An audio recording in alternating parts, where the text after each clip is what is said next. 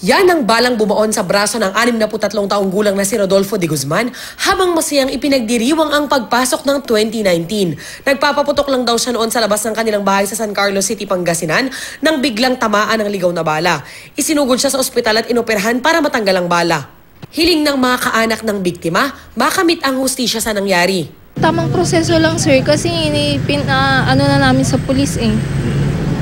Sinabi namin yung kung ano yung nangyari. Kakadlak po kami ng inquiry within the vicinity ng area kung saan nag, nangyari yung insidente at ah, lahat ng mga firearms owner na nasa listahan po namin dito sa San Carlos, ganun din sa Basista, ay ah, kakatukin po natin at possible submit their firearm for ah, examination. Ligaw na bala rin ang tumama sa isang bahay sa Hagonoy, Bulacan. Nagkabasag-basag tuloy ang mga salamin ng bintana sa sala. Mabuti at walang nasaktan.